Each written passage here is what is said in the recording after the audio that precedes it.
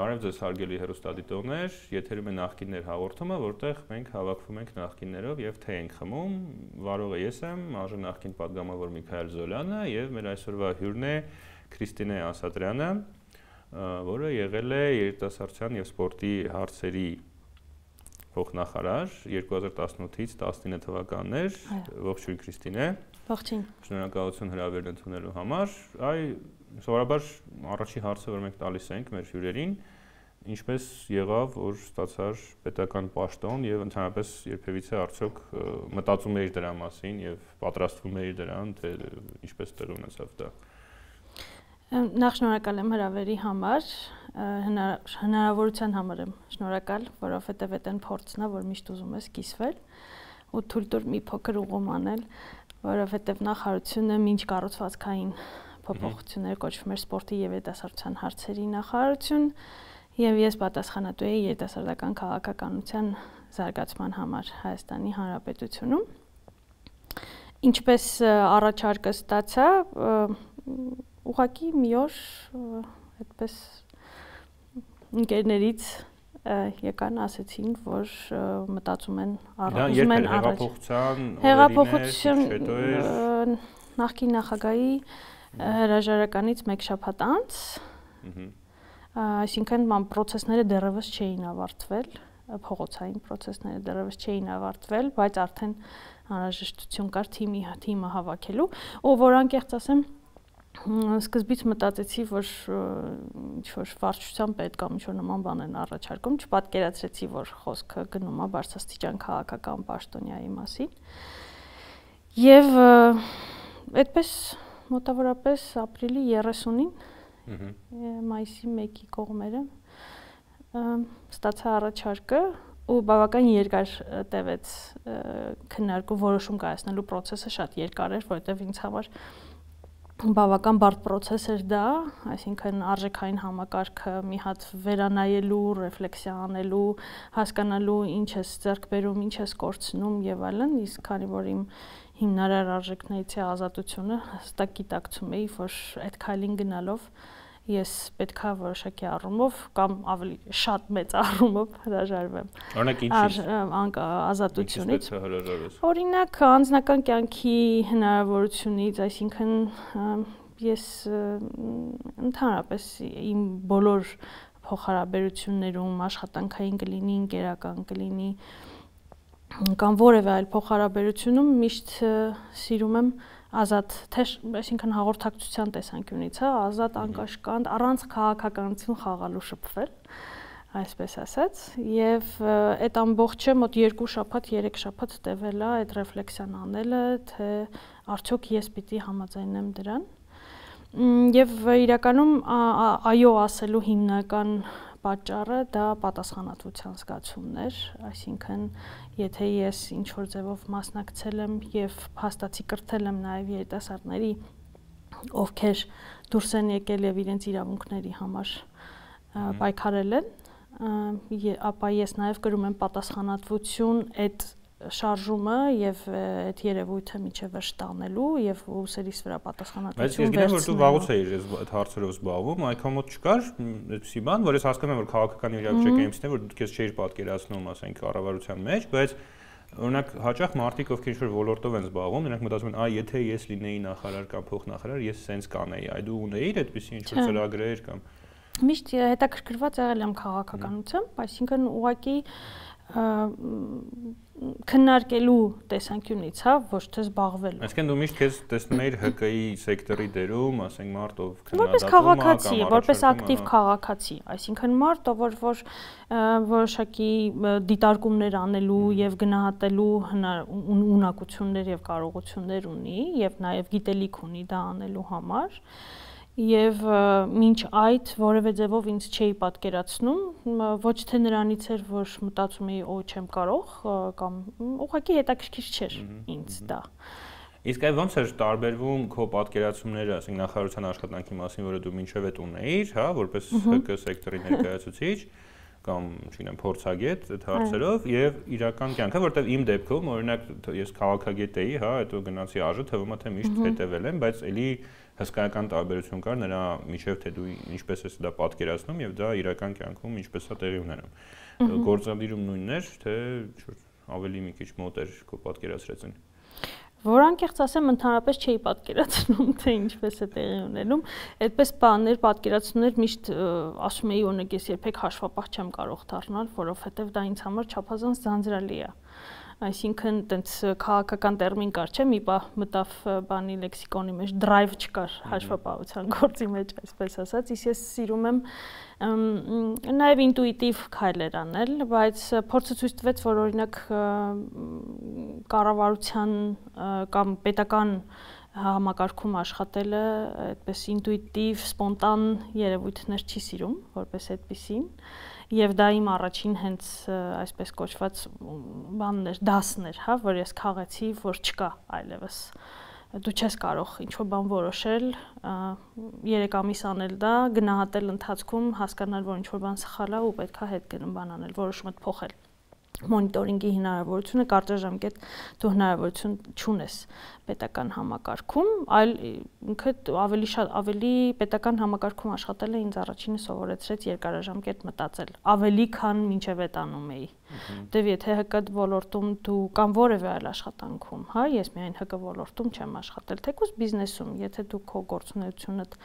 պլանավորում ես 1-2 տարով, օրինակ ռազմավարական ինչ որ պլանավորում ես անում, շատ երկար չէ չեմ խոսում հնգամյա, տասնամյա պլանների մասին, բայց դու կա հնարավորություն ունես փոփոխելու։ Պետական համակարգում աշխատանքը ինձ սովորեցրեց եւ առաջին դասերից մեկը հենց դա էր, որ պետք է շատ երկարաժամկետ մտածել եւ դու պետք է հասկանաս, որ փոփոխության հնարավորություն կարելի ասել չունես։ Բայց դա այդպես պետք է լինի, թե դա մեր կառավարական համակարգի թերությունն է։ Այսինքն եթե դու տեսնում ես, որ ինչ-որ բան այնպես չի գնում ու դու չես կարող դա փոխել, դա երևի այդքան էլ լավ չի համակարգի համար, չէ՞։ Դե նայած ինչը։ Այսինքն եթե դու խոսում ես պետական բյուջեի մասին, օրինակ, որ պետք է պլանավորես նախապես, դու պետք է ունենաս այն փորձը եւ որոշակի գնահատում մոնիտորինգը պետք է բերի քեզ արդեն օրինակ աշխատողների եւ թիմիդ աշխատանքի արդյունքում պետքա գաս այն եզրահանգման, որ օրինակ մյուս տարվա համար դու պետք է ինչ որ բան այլ կերպ անես։ Այսինքն առնվազն խոսքը գնում է 1.5 տարվա պլանավորման մասին, հա գուցե եւ սխալ է այդպես բայց համակարգն էր այդպեսին իսկ իմ փորձը այն ժամանակ դեռևս թույլ չէր տալիս ինձ իմպրովիզներ անելու եւ որոշակի ձևով խաղալու այդ ամեն ինչի հետ, հա իրականում դա շատ կարևոր կոմպոնենտ էր, որ դու ինչ որ գործ սկսելուց առաջ ընդհանրապես փորձ չունես հատկապես պետական համակարգում եւ դու չգիտես թե խաղի կանոնները որոնք են եւ քեզ մի քիչ ավելի շատ ժամանակ է պետք։ Եթե բիզնեսում կամ ՀԿ ոլորտում քեզ օգնում են, օրինակ թիմիդ ղեկավարը, բանա, ինքը ավելի շահագրգռված է, որ դու արագ ադապտացվես թիմի մեջ եւ արդյունքդ ավելի արագ տաս։ Իսկ այստեղ դու ճունես, ասենք օրինակ մենթոր ճունես, որը կգա քեզ կասի թե այս ձևերը ոնց անել, այդ էլ արդեն դե, ինչը ոնց անել։ Այդ էլ արդեն որտեվ ուղղակի ասենք որոշ մարդիկ կարողա համարեն որ իրանք ամեն ինչ գիտեն, իրենց ոչ մի մենթոր պետք չի եւ Հա, իհարկե, ես իմ փորձի մասին եմ խոսում, միանշանակ, այսինքն ուրիշի փորձից խոսել չեմ կարող։ Դա իմ փորձն է եւ ես միանշանակ ունեի կարիք մենթորի, մարդու, ով որ օրինակ ասի pedagogan համակարգում խաղի կանոնները ինչպիսին են օրինակ այդ նույն ես անդադ երկար մտածել եմ, հա, այդ քաղաքականության քաղաքականություն խաղելու խաղալու ձևերը սովորացներ։ Այսինքն քաղաքականություն խաղալու ինչ իմաստով Այսինքն, երբ որ դու Բարսասիջան պաշտոնյա ես եւ կառավարությունում ես, դու քո բոլոր փոխհարաբերություններում համենայն դեպս այն փորձն է, դու քաղաքականություն ես խաղում չկա այն ազատությունը, որի մասին ասում էիր, Այսինքն մի քիչ ավելի բարձ է թե խոսենք, որ ցանկացած բառ կարող է հայտնվել թերթերում ու լրիվ ձևով մեկնաբանված, դե հիմա հա թերթեր չկան, մի քիչ հա։ տենց հին բան ասեցի Facebook-ում, չգիտեմ, Twitter-ում եւ այլն իսկ ասենք այդ ֆասոն երկրորդ դասը հա առաջինը երկարաժամկետ, երկրորդը այն որ պետքա հաշվի առնես քաղաքական ենթատեքստը, նույնիսկ եթե դու, այսպես ասած, Հա, եթե քո տեսակը քաղաքականություն խաղացող տեսակ չի, որպես այդպեսին, ապա կամ պիտի դու արագ սովորես դա կամ պիտի վերագնահատես քո արժեքները կամ փոխես կամ արդեն մնաս ես ընտրեցի իմ հին արժեքները ինքը բան չի ասես շատ թե քիչ նո ավելի տենց կոնսենսուսային ոլորտ չի որտեղ տենց այդքան սուր հակասություններ չկան ասենք քաղաքական ուժերի միջև թե այդտեղ էլ կային ինչ որ այդպեսի շատ վիճելի խնդիրներ որովհետև ինձ թվում է որ այդտեղ ասենք նո ակնհայտ է որ ասենք դժվար թե ինչ որ մեկը շատ խիստ տարբերվող պատկերացումներ ունենա։ Հա, իմ մեր խնդիրը գիտես որն էր, Միկա ջան։ Տես օրինակ 2018 թվականին ԱԺ-ի 8-րդ գումարման ինչքան հիշում եմ բան է ԱԺ-ի, որտեղ որ դու ես եղել։ 7-րդ։ 7-րդ, հա։ Տես, ես քեզ ուղղեցի դու ինձ։ Գումարման գումարումից հետո կառավարությունը նախաձեռնեց միանգամից կառավարության կառուցվածքի մասին օրենքի փոփոխությունը, որի արդյունքում երիտասարդության ոլորտը երիտասարդական քաղաքականության ոլորտը կարելի ասել դուրս էր հանվում process-ից, հա եւ հիմա դու ասում ես այսպես կոնսենսուսային ոլորտա եւ այլ եւ այլն օրինակ մեր իմ խնդիրը որպես ոլորտի պատասխանատու համակարգող այդ ժամանակ խնդիրն այն էր որ որոշում կայացնողները օրինակ ոլորտից ընդհանրապես տեղակ չէին այսինքն ինչա երիտասարդական քաղաքականությունը, ինչու ինչով են դա ուտում, այսպես ասած, եւ իմ խնդիրը օրինակ ոչ թե կոնսենսուսի բերելն էր, այլ ընդհանրապես տեղեկացնել է մարդկանց որոշում կայացնողներին, որ գիտեք, սա կա այսպիսի ոլորտ, որը կարող է ազգային անվտանգությունից սկսած մինչև տարածքային կառավարման ոլորտ շատ պետքական լինել եւ հիմնասյուն լինել եւ իրեն այդպես ուղակի որպես ինչ որ կառավարության հերթական ճյուղ պետք չի նայել, որ օրինակ ասել, դե հիմա ինչներիս է պետ փոխնախարարը այդ ուղղության համար լուծվեց շնորհիվ ոլորտի կոնկրետ, այսինքն հասարակական ոլորտի շատ փորձագետների եւ նաեւ իմ թիմի շատ ծանր ջանքերով այսպես ասած, որ մինչև մայիսի 31-ը եւ հունիսի 1-ից կարելի ասել մայիսը 31 օր է, չէ։ Հունիսի 1-ից օրենքը մտավ ուժի մեջ եւ ոլորտը վարչության մակարդակով պահպանվեց եւ հիմա արդեն համակարգվում է փոխնախարարի կողմից։ Ինչով է զբաղվում երիտասարդության հարցերի փոխնախարարը կամ ինչ կառույց է լինի, հա, որն է պետական քաղաքականությունը երիտասարդության հարցերում, որովհետև այսպես, հա, մակերեսային, հա, բոլորը ասում են, իհարկե պետությունը պետքա զբաղվի երիտասարդության հարցերով, բայց ինձ թվում է հիմա քաղաքացիների մեծ մասին որ հասնենք, իսկ կոնկրետ ինչ է, ինչ քաղաքականություններ է պետությունը, հա, վարում այդ ոլորտում, շատերը կդժվարանան։ Այո։ Այ դրա մասին մի երկու խոսքով եթե կարելի է։ Նախ ոլորտը միջկերտեսչական ոլորտ է այսինքն չնայած որ կար հստակ ուղություն եւ նախարարության ներքո սպորտի եւ երիտասարդության հարցերի նախարարություն, բայց բազմաթիվ նախարարություններ, գերատեսչություններ իրենց զարգացման պլաններում, ռազմավարություններում ներառում էին երիտասարդության հետ կապված ծրագրեր եւ ուղություններ, հա, քաղաքականություններ սկսած տարածքային կառավարման նախարարությունից տրանսպորտ, այսինքն առողջապահությունը, ՊՆ, այսինքն SN ոլորտներն են, որտեղ երիտասարդությունը հիմնական կորիզն է կազմում։ Եվ ընդհանրապես երիտասարդությունը հիմա թարմ թվեր գուցե եւ չասեմ, բայց այն ժամանակ Հայաստան Հայաստանի Հանրապետությունում ապրում էր մոտապես 823000 երիտասարդ, իսկ Հայաստանում երիտասարդ է համարվում 16-ից 30 տարեկան մարդիկ, որոնք ապրում են Հայաստանում, այսինքն բնակչության 1/3-ից մի քիչ պակաս քանակությամբ մարդ, այսինքն 30-ը ցածր չէ, օրինակ ուրիշ երկրում մինչև 35 չի համարվում։ Դե հիմա մեր դե հա մենք շուտ ենք մեծանում։ հա։ Գուցե ես օրինակ առաջարկում էի, որ 14-ից 35 դարձնենք, որովհետև նաև տեխնոլոգիաների զարգացումը, ընդհանրապես մարդու զարգացումը եկել է այն այն մակարդակի, որ արդեն 14 տարեկանը կարող է համարվել երիտասարդ եւ ներգրավել երիտասարդական քաղաքականության ծրագրերում։ Քաղաքականությունը ընդհանրապես կարող էր վերաբերել երիտասարդության հետ կապված ցանկացած խնդրի Դա իհարկե կապված է պետության որթեգրած ընդհանուր քաղաքականությունից, զարգացման ուղությունից, հա, վեկտորից, այսինքն ուր է ուզում տանի իր պետությունը իր 30% բնակչությանը օրինակ ես օրինակ առաջարկում եի, որ եթե մենք հեղափոխություն ենք արել եւ մենք քաղաքացիական քաղաքացիահեն հասարակություն ենք ուզում ստեղծենք, ապա երիտասարդական ոլորտը, երիտասարդական քաղաքականության ոլորտը հենց այն ոլորտն է, որի վրա պետքա հիմնվի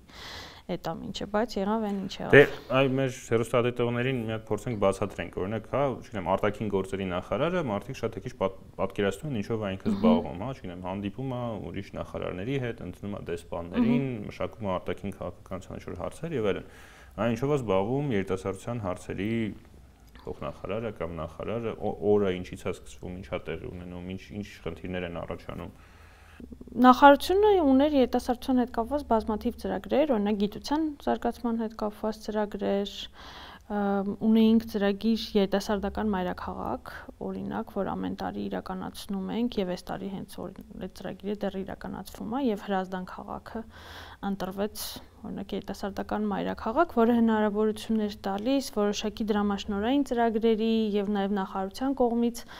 իրականացվող ծրագրերը ուղղել դեպի այդ քաղաքներ եւ քաղաքները զարգացնել, այնտեղ օգնել, աջակցել երիտասարդական նախաձեռնություններին, որոնք որ կաճեն եւ դրամաշնորներն էլ կստանան պետության կողմից եւ հնարավորություն կունենան թիմեր ձևավորել եւ աշխատել համայնքային խնդիրների լուծման ուղղությամբ, հա ծրագրերը բազմաթիվ էին ունեինք նաև օրինակ ծխելու դեմ պայքարի այսինքն դա կապված էր տարեկան ընդհանուր առաջնահերթություններից դա կարող էր լինել մարդու իրավունքները, դա կարող էր լինել ռազմահայրենասիրության, ռազմահայրենասիրական կրթությունը օրինակի համար, հա, եւ մենք ունեինք նաեւ դրամաշնորհների ծրագիր 500 000-ից մինչեւ 2 միլիոն դրամ ֆինանսավորվում էր երիտասարդական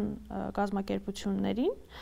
եւ օրինակ մենք առաջնահերթություններ տվեցին կոնկրետ մարզային երիտասարդության զարգացմանը, երիտասարդական կազմակերպությունների զարգացմանը, հա, որովհետեւ խնդիր կար հստակ այդ դեցենտրալիզացիա, դեսենտրալիզացիայի, այսինքն այն ինչ որ հիմա էլ շատ-շատ շատ նախաձեռնություններ անում են։ Հետո երևի մարզերում երիտասարդները ընդհանրապես շատ ավելի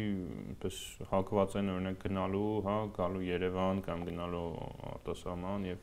խնդիր կա նաև երիտասարդներին մարզերում պահելու եւ հնարավորություններ ստեղծելու, որ Այո։ Հա։ Այո, ես մինչև հիմա աշխատում եմ այդ ուղությամբ, այսինքն կոնկրետ մարզային երիտասարդության հետ աշխատում եմ շատ ինտենսիվ, մի քանի նախաձեռնությունների մեջ ներգրավված եմ, ինքս ունեմ նախաձեռնություն, հենց այս պահին մի ծրագիր եմ իրականացնում, որտեղ աշխատում եմ երիտասարդների հետ Վարդենիսում, Ճամբարակում, այսինքն սամանային գոտիներ են, հա, մեր սամանային գոտիներ են, Ամասիայում, Գյումրիում, Երևանում նաև եւ խնդիրները շատ բազմազան են, այսինքն երիտասարդը որ ապրում է Երևանում, իր խնդիրը լրիվ այլ է եւ համատած են մարդու այն երիտասարդի ով ապրում է օրինակ Ճամբարակում Եվ հետաքրքիրն այն է, որ կարող է թվալ, որ երիտասարդների խնդիրները տենց աշխատանք, կրթություն, հա, բայց օրինակ սոցիալիզացիան է մեծ խնդիր։ Ժամանցի ժամանցի մեծ խնդիր կա մարզերում։ Երիտասարդները ուղակի չունեն որևէ բան անելու հնարավորություն, ժամանց օրինակ անցկացնելու հնարավորություն չունեն։ Ես վերջերս օրինակ մի քաղաքում էի, Երևանից դուրս, չասեմ որ քաղաքն է, որ մարդիկ կարող է սխալ հասկանան, բայց Այնտեղ ինձ ասացին, որ երիտասարդների հիմնական զբաղմունքը մոյկաներում, ասենք, կանգնելն է։ Այն դա երիտասարդ տղամարդիկ են, երիտասարդ կանայք ուղակի տանն են հա։ նստած, ընդ որում դա այդպեսի քաղաք չէր էլի, որ այնտեղ ቱրիզմ էլ կա, ամեն ինչ էլ կա եւ այլն։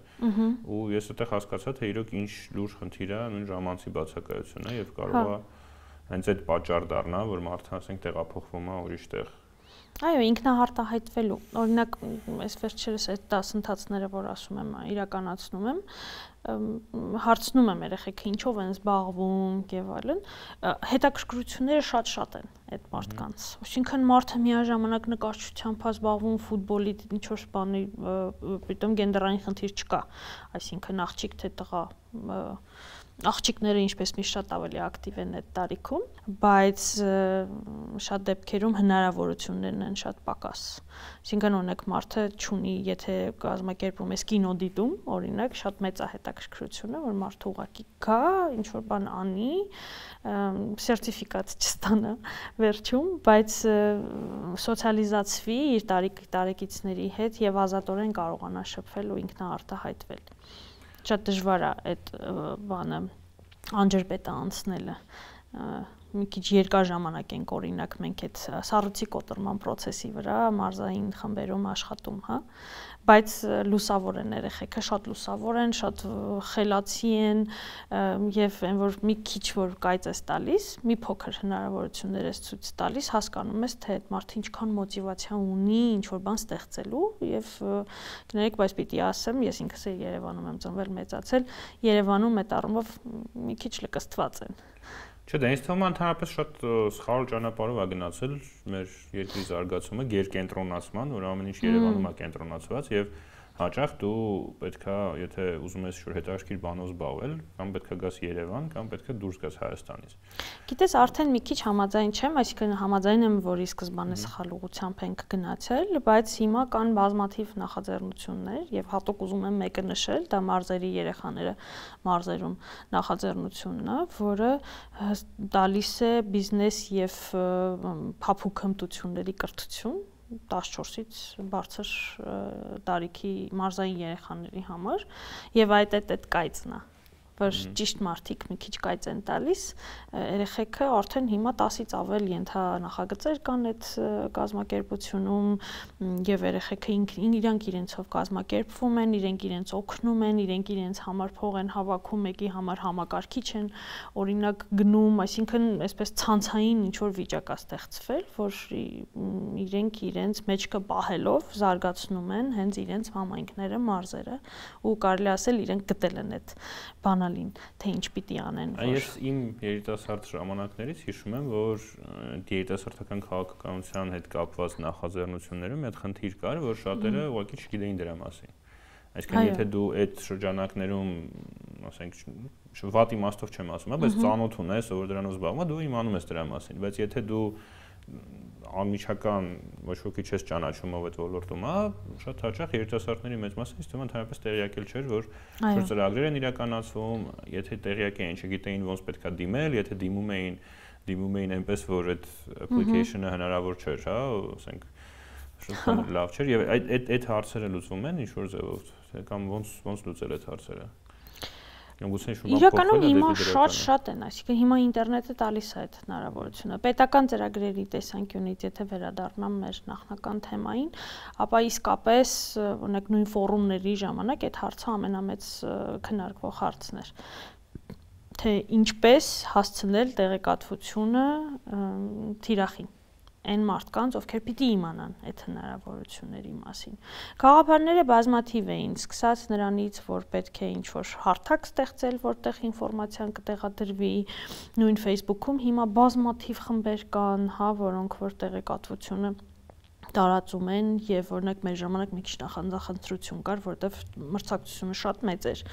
Այդենց մարդիկ կային ինֆորմացիան պահում էին, ոչ մեկին չէին տալիս։ Հիմա այդ խնդիրը չկա։ Հիմա այդ մրցակցելու խնդիրը չկա, որովհետեւ հնարավորությունները չափից շատ են եւ մարդը եթե ուղակի կարդա եւ հավես անի, կլիկ անի, մտնի ինֆորմացիան բացահայտելու եւ հասկանալու իրեն դա հետաքրքիր է թե ոչ, ինքը ունի հնարավորություն այդ այդ ամեն ինչից օգտվելու համար, էլի։ Իսկ բանական ինչ-որ բան չկա, պատնեշ չկա, որ ասենք մարդիկ մտածում են դե մեկը չի ստացվի, մեկը իրանք իրենց ծանոթներին են տալիս եւ այլն, ասենք ցույցումա մեր մոտ տարածված է նաև հաճախ ասենք այդպեսի ինչ-որ ծրագրերի դիմելուց մի քիչ այդպեսի մտայնություն կա, որը իզուր չի ստեղծվել, որովհետև ժամանակին իրոք կային այդ խնդիրները, բայց հիմա այս դա էլ կապել հնարավորությունների քանակի հետ, մասշտաբի հետ կապել, հա, որովհետև եթե այն ժամանակ քիչ էր հնարավորությունը եւ մարդիկ փորձում էին համ կրիտերիան մենակ բարեկամ բանը չէր, հա, բարեկամ ընկեր ծանոթը չէր, ԽԾԲ-ն չէր, այսպես ասած։ Կրիտերիան նաև ընտրել մարդու, ով որ որ կգնա օրինակ Եվրախորհրդի երիտասարդական ուղղությամբ այդ U department-ի տրեյնինգներին Հայաստան ես ներկայացնում դու վերջի վերջո, այսինքն պիտի մարդ լինի, ով որ որ կկարողանա պատշաճ կերպով ներկայանալ, հա, ներկայացնել երկիրը, բայց հիմա օրինակ նույն Եվրամիության իրականացվող ծրագրերի շրջանակներում հենց շեշտը դրվում է նրա վրա, որ սակավ հնարավորություններով երիտասարդներն են առաջնահերթություն եւ մարդը որ լեզու չգիտի օրինակի համար իրան առաջ ավելի շատ են ընտրում, քան այն մարդիկ, ովքեր լավ կրթություն են ստացել, համասարանական եւ մի քանի հատ դիպլոմներ ունեն եւ այլն եւ այլն եւ իրենք որպես այդպեսին առաջնահերթություն չեն հա եւ այստեղ այդ խնդիրը չկա այլևս կարծում եմ որովհետև եթե մի հատ փորձեցիր մի կազմակերպության շրջանակներում չանցար, երկրորդ, երրորդ անգամ հաստատ անցնելու ես, որովհետև երիտասարդներն էլ մարդիկ էլ այդքան շատ չեն, ովքեր որ դիմում են, որովհետև հիմնականում նույն մարդիկ են դիմում ցավոք սրտի, էդ էլ էլի գալիս ենք այն խնդրին, որ գուցե ինֆորմացիան այնպես չի տարածվում, որպեսզի բոլորին հասանելի լինի օրինակ դպրոցներում, համասարաններում ինֆորմացիայի տարածման հարթակներ են անհրաժեշտ գուցե ստեղծել, որ երիտասարդները հնարավորություն կունենան ուղակի այդ պատի թերթի նման, հա, ասենք մոտենան, տեսնեն թե ինչ կա չկա անելու, որ ինֆորմացիան հասնի իրանց Մենք օրինակ գնում էինք, փորփրում էինք մեր ժամանակ։ Մենք գնում էինք, գտնում էինք, ինչ որ, չգիտեմ, տարբեր խմբակների էինք գնում։ Հիմա այդ խնդիրը չկա, որովհետև հիմա արդեն ինֆորմացիան է հասնում։ Իսկ հիմա հակառակ խնդիրը կա այդ ինֆորմացիան ֆիլտրելու, որտեղ ասենք շատ է ինֆորմացիա։ Լավ, վերադառնանք արդեն դեպի ամփոփելը գնանք եւ պետական պաշտոնի այդ փորձառությունը, ասենք, որ ավարտվեց։ Դու ինչ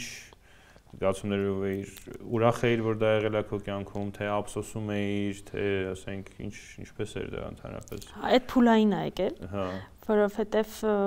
դիմումը գրելուց հետո հաջորդ օրը ապաճան սկսվեց, այսինքն ինչ որ մի process-ի մեջ եմ եղել, որտեղ գուցե Դա կապված էր այդ վերակազմավորումների հետ, հա, թե ի սկզբանե դու չէի պատրաստվում։ Չէ, ես որոշել էի, որ հա։ այլևս չեմ ուզում այս ոլորտում աշխատել, համենայն դեպս այդ մակարդակում չեմ ուզում աշխատել, որով դեռևս 2018 թվականի հոկտեմբերին բայց ինչ-ինչ պատճառներով իմ պաշտոնավարելը երկարեց, որովհետև խնդիրներ առաջացան, ինչպես արդեն նշեցի, ոլորտի պահպանման հետ կապված։ Պահ կներես, ասենք մարդկանց պատկերացման մեջ կա չէ, որ այ մարդիկ կարճած են իրանց աթորին ու հա։ շատերը չեն պատկերացնում, թե ինչքան հաճախ է այնպես տեղի ունենում, որ մարդը ուզում է իրականում դուրս գալ, բայց գործերը շատ են կամ չգիտեմ, հա։ ինչ որ խնդիր կա, որը պետք է լուծվի ու շատ պաշտոնյաներ շարունակում են պաշտոնավարել, չնայած վաղուց ուզում էին դուրս գալ։ Հա, այդ է տնաբանն էր։ Իմ դեպքում այդ խորտակվող նավից փախչող նավապետի խնդիրներ կներեք իհարկե անհամեստությանս համար այս դեպքում, որովհետև փաստացի ոլորտն էր, հա, որովհետև նախնական որոշումը բաժնի մակարդակի իջեցնելն էր, վարչություն։ Վերջում ինչքան հասկացա։ Չէ, թութ-թութ հա։ չխորտակվեց, չնայած այն չէր, ինչը որ կուզեինք, որ պահպանվեր, բայց համենայն դեպս մակարդակը պահեցինք ասում եմ անասելի ջանքերի շնորհիվ, բայց իմիջիալոց նաև նշեմ, որ ինձ այդ դրան դրա մեջ էլ են մեղադրել, որ ես կարճած եմ, դու պիտի դուրս գաս, որ ցույց տաս, որ բանա այսինքն քաղաքական մեսիջ տաս, այսպես ասած, որ ոլորտի քո դուրս գալով կարողա որոշվի, օրինակ, որոշումը ի իշահ ոլորտի կայացվի, բայց ես այդ պահին մտածում էի, որ ես պետք է մնամ եւ ներքին խողովակներով փորձեմ իմ նետվորքը օգտագործեմ, այսպես ասած, որ կարողանամ ոլորտի մասին իրազեկվածությունը բարձրացնել, որտեղ իմ կարծիքով այն ժամանակ խնդիրն էր, որ որոշում կայացնողները տեղեկ չեն ոլորտից համենայն դեպս ոչ այն մակարդակով, որ կարողանան կարևորությունը հասկանալ ոլորտի։ Իսկ եթե հիմա օրինակ վաղը մսորը քո ծանոթներից մեկին ինչ-որ պաշտոն առաջարկեն ու ինքը ասի, հայ Քրիստինեին հարցնեմ, ինքը այնտեղ աշխատել է, որում ինչքանացնում կոնկրետ այս կառավարության հետ կապված կամ որ ընդհանրապես պետական պաշտոն որպես այդպեսին քո ընկերներին խորհուրդ կտաս գնալ այդպեսի աշխատանքի, թե կասես որ չգիտես շատ ծանր է, ավելի լավ թող ուրիշներ անեն։ Ո ես նման խորհուրդներ երբեք այդպես կտրուկ չեմ տալիս կամ գնա կամ մի գնա այս քոչի բանն է առաջ գալիս, որ մարդուն փորձեմ օգնել ըստ իր արժեքների, սկզբունքների հիման վրա կայացնել ճիշտ որոշում, հա։ Անպայման կփորձեմ հա, այնպիսի հարցեր տալ, որ մարդը իր ինքն իր համար որոշի կամ ինքն իր համար բացահայտի, թե օրինակ իր տեսակը, մարդ տեսակը արդյոք համապատասխանում է այն աշխատանքին, որն իրեն առաջարկում են։ Որտեւ այդ շատ կարևոր է։ Լինի որ համապատասխանի։ Քաղաքականություն խաղացող տեսակ է եթե շատ կարճ ասեմ, հա, այս արտահայտությունը շատ եմ, այս այս բառը ճիշտ ասած այսօր այսօր ամտքիս եկել, որ մտածում էի թե ինչ պիտի խոսեմ քեզ հետ։ Եվ այդ արտահայտությունը նոր է եկել եւ ինձ դուր եկավ, ճիշտ ասած, որովհետեւ ինչու, որովհետեւ իսկապես շատ ցավալի բաներ են եղել, հա, այդ փորձում օրինակ, որ հասկացել ես, որ չկան ընկերներ որպես այդպեսին կան ընկերներ, բայց այն մարդիկ ում որ թվում քեզ թվում էր որ ժամանակին քո ընկերն է կարողա շատ հանգիստ օրինակ դե հա կորցնում ես հա, ընկերների որոշակի փոխհարաբերություններ փոխվում են այսինքն քեզ այլևս չեն ընկալում որպես ընկեր։ Քեզ ընկալում կարևոր չի թե դու Քրիստինեն ես կամ Միքայելն ես կամ Գևորգն ես կամ այլ մարդն ես,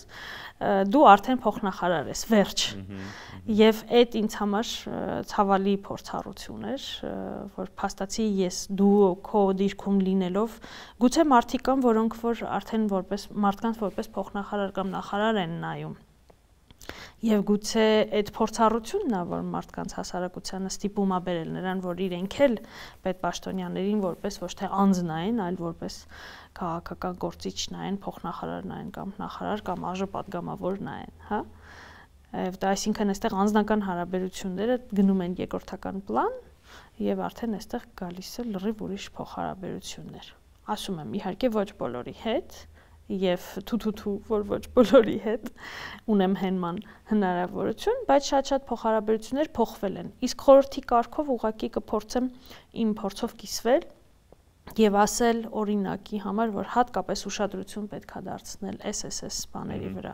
Դա նույն բանը չի աշխատել հասարակական ոլորտում եւ աշխատել պետական համակարգում Եվ դու պետք է ունենաս արդեն լրիվ ուրիշ կոմունիկացիոն ստրատեգիաներ են աշխատում այստեղ։ Լրիվ ուրիշ կոմունիկացիոն ստրատեգիաներ են աշխատում, քան երբ որ ՀԿ-ում ես աշխատում կամ բիզնեսում ես աշխատում օրինակ։ Լավ, շնորհակալություն շատ հետաքրքիր զրույցի համար, իսկ մենք կհանդիպենք։ Ստեսություն։ Ստեսություն։